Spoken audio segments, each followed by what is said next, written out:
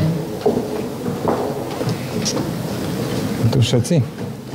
Dobrý deň, prajem dámy a páni. Dovolte mi sa vyjadriť k veci, ktorá rezonuje posledné dni, najmä teda včera.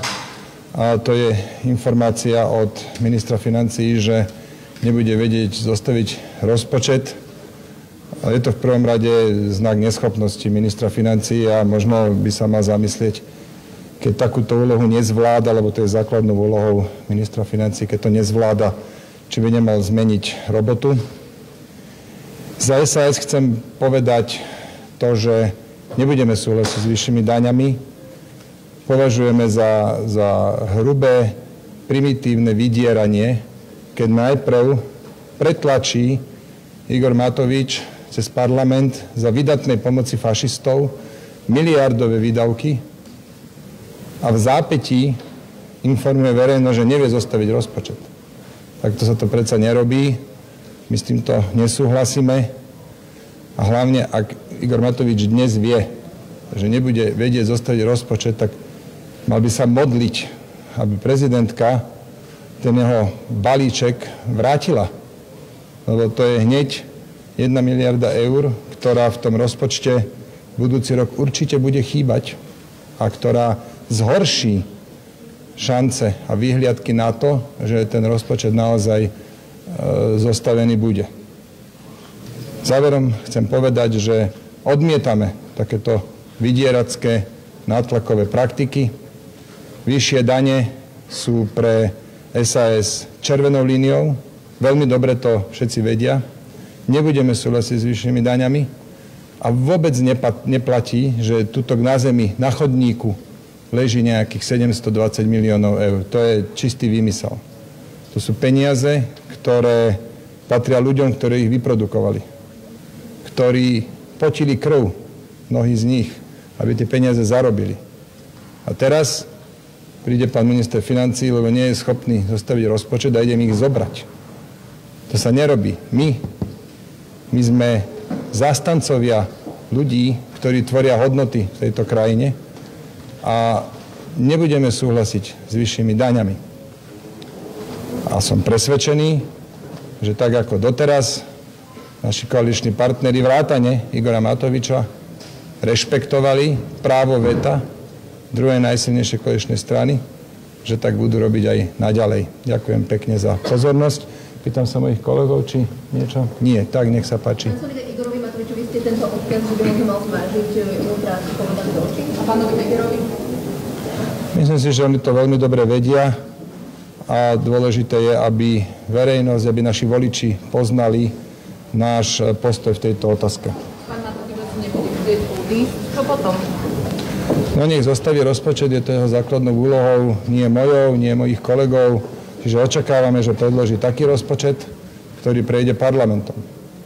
Igor Matovič bol ten, ktorý už dávnejšie hovoril, že budúci rok musíme konsolidovať o 1,5 miliardy tak keď viem, že musím šetriť v objeme 1,5 miliardy, tak neprídem predsa s ďalšou miliardou alebo vyše miliardov výdavkov. To je, to je proti elementárnej logike. Je podľa vás vôbec možné tie peniaze nájsť okrem zvyšovania tých daní? Na to je tu minister financí, aby predložil taký rozpočet, ktorý bude priateľný pre všetkých štyroch koaličných partnerov balíku pomoci, na ktorý teda čakáme, ako zareaguje pani prezidentka, tak tam sa na poslednú chvíľu robila ešte úprava cez pozmeňujúci návrh, ktorý teda bol prezentovaný, že vyšiel z koaličnej rady. E, podľa vyjadrení LSNS vyzerá, že sú to presne body, ktoré požadovali od ministra financí zapracovať e, oni. E, čiže vy máte túto vedomosť, že to, s čím prišiel na koaličnú radu Igor Matovič, bolo od nich? Nie. My sme ani na koaličnej rade toto nejak detailne nepreberali. My sme ten návrh dostali o 20. hodine 55. minúte v útorok, teda 13 hodín a 5 minút pred začiatkom vlády, kde teda bol tento návrh e, prvýkrát, na, v útorok nám prvýkrát bol poslaný a už na vláde bol schválený na nejakú širšiu diskusiu. O tomto konkrétnom návrhu jednoducho nebol priestor. To poprvé. Po druhé, tým fašistom, no my sme sa už vyjadrili, že protikorupčná koalícia zo stranou SAS bola nahradená populistickou koalíciou s fašistami. To skrátka je dnešná realita. Ale vy sa nazdávate, že tie pozmeňujúce návrhy boli súčasťou dohody medzi Igorom Matovičom a Topolúkami? Je to možné, to sa musíte spýtať Igora Matoviča. Takisto je tu nepekné podozrenie, že ten díl bol o tom, že predloží e, tie, to, to obmedzenie, respektíve e, pozývanie hostí do televíznych politických relácií na základe volebného výsledku, čo by evidentne e, fašistom hralo do karát je tu také nepekné podozrenie, ale ako to bolo naozaj, to sa ho prosím vás pýtajte vy. Bolo to tam naviazanie na záškoláctvo a teda na... Hovorím vám, musíte sa spýtať vy. No, on sa aj čakrovalo s číslami, e, že ten príspevok bude toľko, potom toľko, nakoniec to proste dopadlo ináč, ano. ako vzýšlo z vlády. Dopadlo to tak, ako ako to je obvykle s návrhmi Igora Matoviča. Pamätáme si, ako ste svojho času takto rovnako prišli počas vlády a povedali, že e, Igor Matovič by mal v podstate odísť z postu premiéra. Vtedy bola veľká koaličná kríza. Bolo to vtedy, keď bolo úplne evidentné, že nezvláda svoju robotu. A teraz on sám s tým prichádza a hovorí úplne verejne, že nezvláda svoju robotu, lebo nie je schopný splniť úlohu číslo 1 ministra financií a to je predstaviť rozpočet, no tak keď to nezvláda, tak e, mal by ísť od toho. Pána Grolinga by som možno poprosila k tomuto na pár slov, lebo sú tam aj platy učiteľov, ktoré vlastne sú tu z daní. Pani Veronika Remišová pracovala tlačovú konferenciu, vy ste politici, teda mali by ste to prijať ako pre svoj rezort, zároveň ste politici v otázke. Myslíte k včerajšej tlačovej konferencii ako takej? Viete čo, Slovensko žije ostatné týždne naozaj konfliktom a na konflikt potrebujete dvoch ľudí, ale v tomto konflikte nechám pani Remišovú o samote, nebudeme nič odkazovať, ona zvládne byť v konflikte aj sama so sebou. Za nás hovorí naša práca, za pani ministerku Kolikovú je to súdna mapa, za pána Sulíka sú to kilečka zákony v rámci pomoci podnikateľov, za mňa je to reformné zákony v rámci vysokých škôl alebo reformné zákony v rámci základných škôl a toto prezentuje naša robota. Ja by som chcel iba poprosiť pani Remišovu, že keby sa pozerala na eurofondy a partnerskú dohodu, pretože na budúci rok nebudeme mať z čoho platiť asistentov, učiteľov. Školy nám chátrajú a na to by boli dobre využiť eurofondové projekty a ostatné veci, keby sa venovala tejto práci. Ja budem veľmi rád. My budeme naďalej obhajovať platy učiteľov. Máme za sebou niekoľko stretnutí. Momentálne som sa rozprával o tejto téme aj s pánom premiérom. Budeme mať ďalšie stretnutie aj na úrovni pána premiéra, pána ministra financí, aby sme naozaj túto tému vo vnútri si vydebatovali a následne potom povedali, že aký je výsledok, keďže nás čaká aj protest a nemyslím si, že by sme z protestu mali robiť nejakým spôsobom divadlo alebo niečo podobné. Mňa osobne to veľmi mrzí, pretože to nie je o tom, že budeme vystupovať na javisku alebo nejaké takéto náležitosti robiť. Je to o životných príbehoch každého jedného učiteľa, ktorý sa stará o budúcnosť našich detí. Tak toto by malo skončiť a mali by sme ukludniť celú atmosféru a vydebatovať si to.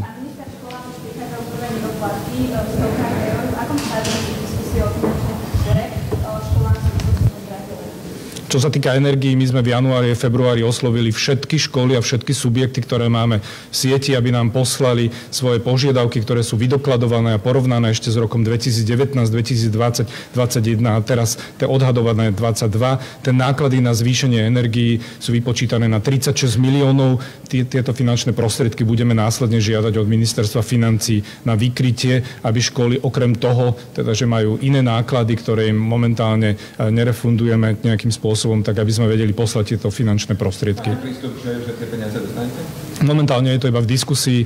My sme začali v, v marci prvé debaty o budúco ročnom rozpočte. Mali sme za sebou prvé stretnutia, určili sme si svoje priority, kde je teda platy učiteľov, kde je zvýšený normatív, kde sú energie, kde sú asistenti učiteľov a momentálne o tom diskutujeme. Prebehli také tie prvotné stretnutia, ktoré sú a budeme pokračovať ďalej cez leto.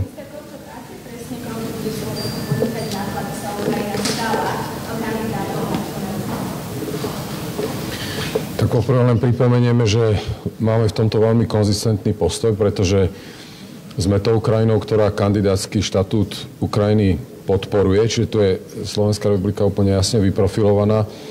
Druhá vec, ktorú chcem povedať, je, že aj e, ukrajinskí predstaviteľia, ktorí o to um, usilujú a doslova prosia, vedia jedno, že udelenie kandidátskeho štatútu to nie je o členstve ani za rok, ani za dva, A my sa snažíme presvedčať aj ostatných členov Európskej únie, robil to tak aj včera premiér eh, Heger na samite, že v tejto chvíli je to skôr o symbole. Je to veľmi dôležitá vec, ktorá dá morálnu podporu pre Ukrajincov, pre ukrajinských občanov, ale aj tých, ktorí bojujú za existenciu.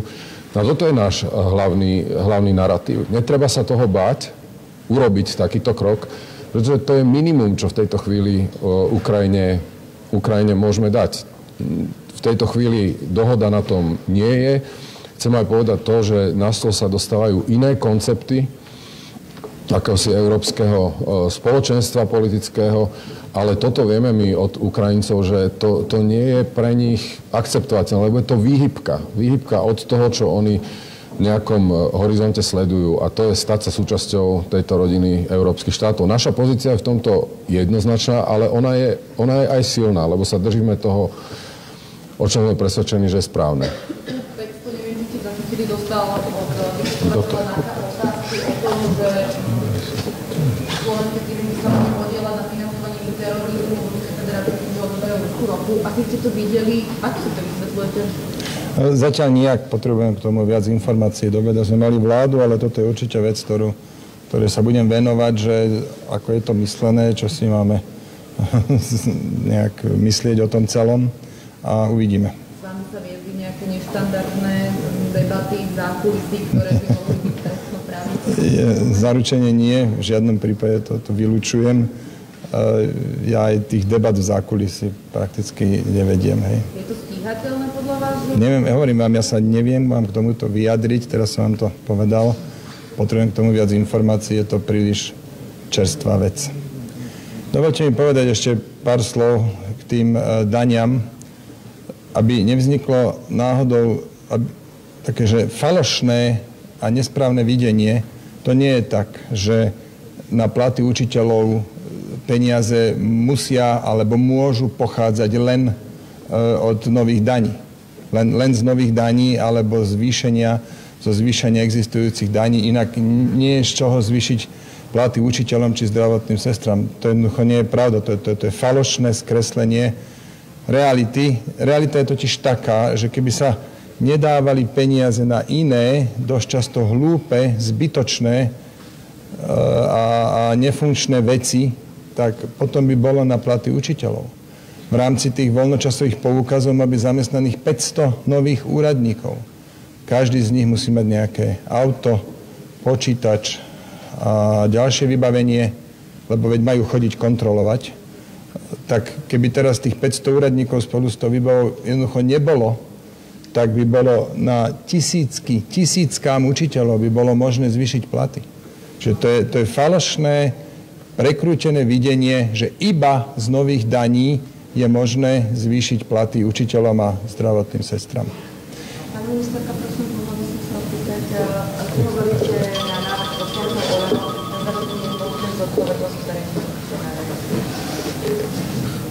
Môžeme sa samozrejme vyjadriť aj k tejto téme. Ja som sa k nej už vyjadrovala viackrát. Ten návrh, ktorý je v parlamente, má vážne vecné vady a takýto nemal byť ani podaný.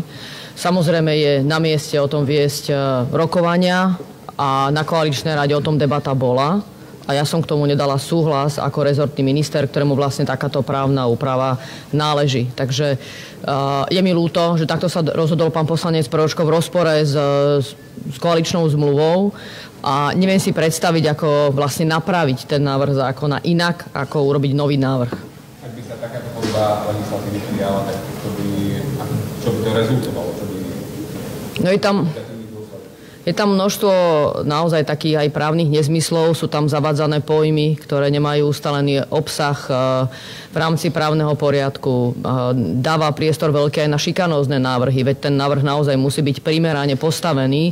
Nemal by odrádzať verejných funkcionárov robiť si svoju e, úlohu plniť si svoje úlohy. Na druhej strane mal by byť jasne vykonateľný, takže nemal by to byť, že jeden návrh vám môže vlastne vytvoriť priestor na ďalšie návrhy na ňo nadvezujúce a v nejakej miere aj šikanózne. Takže tu, tu nejde o to zalátať, teraz by som povedal, nejakú dieru, ktorú si pýta aj verejnosť, aj rozumiem, že si pýta, ale mali by sme potom prísť návrhom, ktorý je proste dobrý. Vlastne lebo hovoríte, že to patrí pod vás, vy to očakávate, že to podá ODA, alebo také príklady, čo vlastne Od začiatku tu bol záujem zo strany poslaneckého klubu Olano takýto návrh pripraviť a ja som bola pripravená od začiatku o tom spolu rokovať, takže ja som pripravená o tom diskutovať, ale ak vám príde paragrafové znenie pár hodín pred koaličnou radou, tak je to samozrejme zložité priamo dať k tomu súhlas, ale ja som to urobila do pár dní. Takže ešte vlastne my sme mali koaličnú radu v nedelu, návrh prišiel v sobotu v paragrafovom znení a ja som v priebehu následovných dní ho riadne posudila a povedala som, že v takomto uh, v takomto znení sa to nedá podporiť. Ale poďme sa o tom rozprávať, ako stretníme sa a poďme hľadať riešenia. Dala som veľmi konkrétne zásadné pripomienky, prečo je to takto nepriateľné.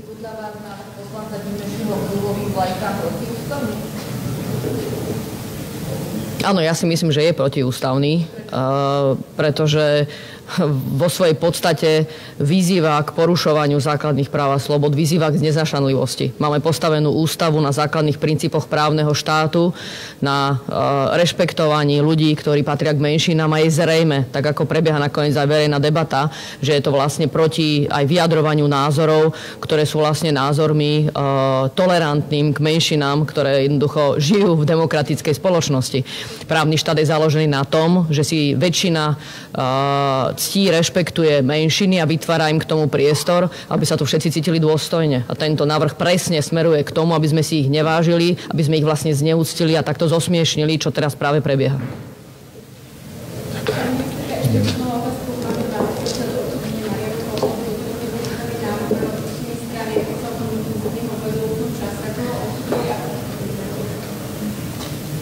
Tak nedá sa to brať uh, priamo automaticky, ale samozrejme je to priestor, ktorý je dôležitý, aby využila generálna prokuratúra. Ja som k tomu už hovorila viackrát, že je asi na mieste aj posúdiť, či by nemal byť viaceré legitímne subjekty, ktoré by sa takoto, uh, by mohli mať takúto iniciatívu. Je to postavené takto. Ja by som to v, no, to v tomto momente nespochybňovala ani akékoľvek kroky, ktoré uh, môžu byť na generálnej prokuratúre, ale Takže nedá sa to brať hneď ako automatiku. Ten priestor má generálna prokuratúra a súčasne nechajme ešte ten priestor, ktorý generálna prokuratúra má, ale podľa mňa bavme sa o tom, či to nerozšíriť.